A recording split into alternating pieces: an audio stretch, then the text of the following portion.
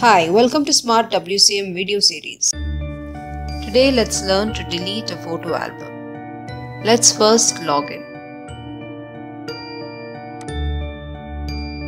Go to Web Contents and then Manage Web Contents. Select List Web Contents from the drop-down. To retrieve your photo album, go to the search bar and type in the title, here Rachel's Cakes.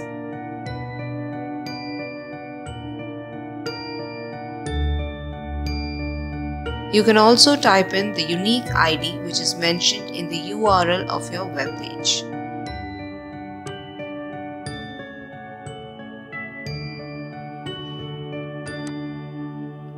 Once located, go to Actions and select Delete from the drop-down menu.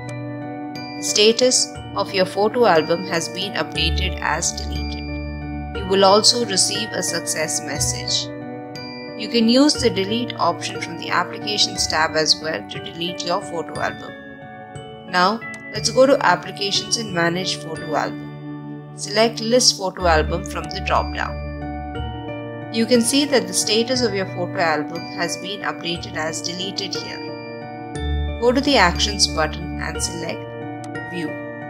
You can see that your photo album has been successfully deleted from your web.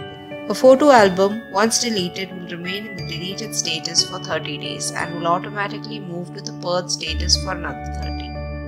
Only a user with an admin sanction can modify the number of days it stays in the deleted status. Thank you for watching Smart WCM video series.